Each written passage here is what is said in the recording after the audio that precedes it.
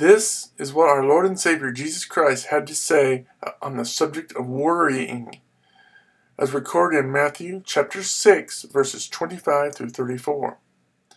Therefore I tell you, do not worry about your life, what you will eat or drink, or about your body, what you will wear.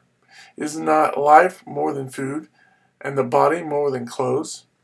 Look at the birds of the air. They do not sow or reap or store away in barns, and yet your heavenly Father feeds them. Are you not much more valuable than they? Can any one of you, by worrying, add a single hour to your life? And why do you worry about clothes? See how the flowers of the field grow? They do not labor or spin. Yet I tell you that not even Solomon in all his splendor was dressed like one of these. If that is how God clothes the grass of the field, which is here today and tomorrow is thrown into the fire, will he not much more clothe you, you of little faith? So do not worry, saying, What shall we eat? or What shall we drink? or What shall we wear?